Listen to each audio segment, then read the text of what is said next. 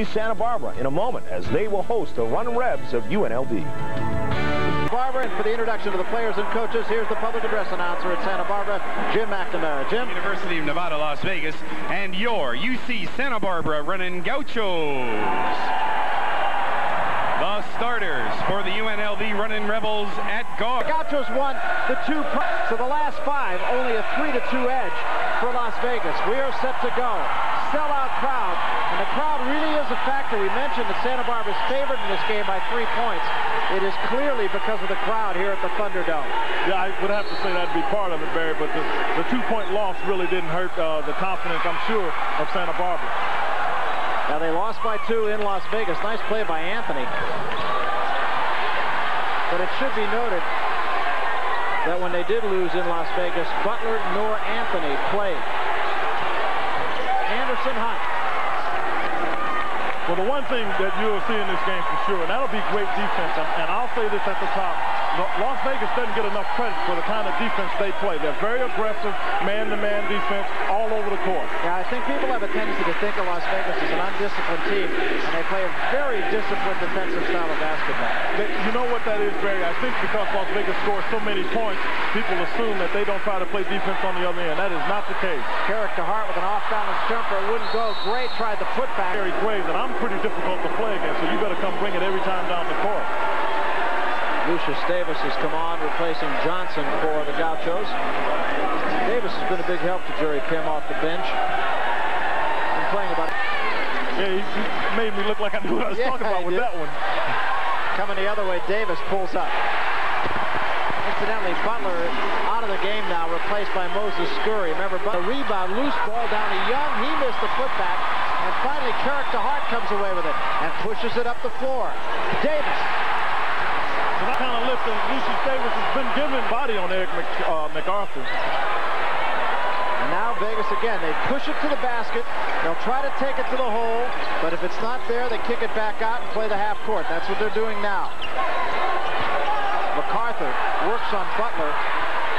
And a little short. Augmon doing a good job. MacArthur gets the rebound back. He's got a gang of them already. Davis.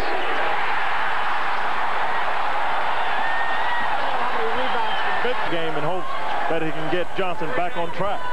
DeHart almost forgot the basketball there. In the lane, and a beautiful shot by Lucius Davis. Off balance, never really had a handle. Tell me how Johnson is playing on a defensive end. Remember, he's got four fouls. Watch it. Well, he, he gets down here. He he just takes good position. That's what he did the last time. I'm, I'm not going to call that, that tentative. Lazy pass by Idris Jones. And a gimme at the other end. No, it's blocked from behind by Davis. He says, I got the ball. But the referee says, no, you did get the ball, but you got the man also.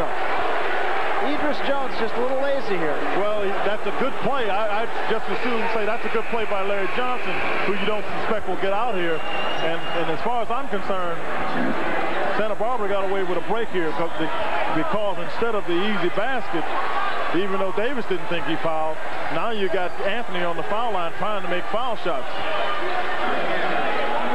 Greg Anthony, good free throw shooter.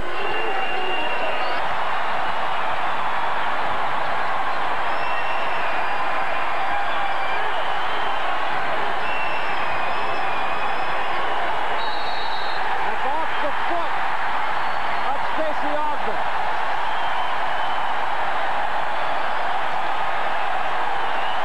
Really, Stacey Augmon's trying to do too much. He put the ball in Davis' face. The wise thing to do is just slap at it. You might get lucky. Took his towel.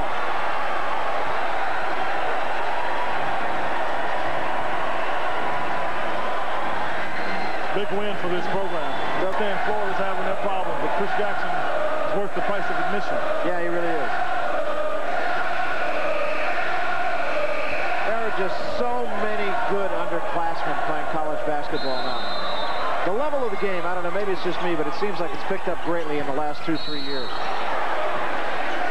Well, I don't think there's any question about that. It's, it's gone over more like the eight to ten years. It's a different game. MacArthur and DeHart playing their last game before the home folk, and they made it a memorable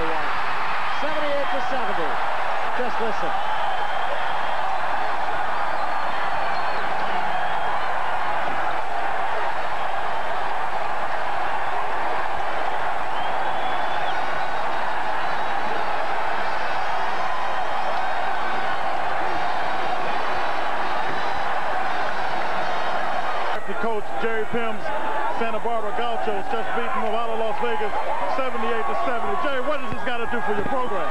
Well, it helps, obviously, and I think it'll help us get in the tournament. I think the tournament committee has to see that we can play, and it's going to come down. I think the Big West can get three teams in there, maybe even four if Long Beach can complete things. So we're just hoping that the committee will see four teams from the Big West. Well, Terry, back to you.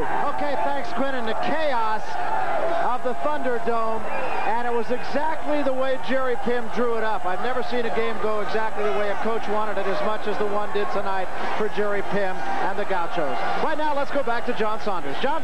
Well, Barry.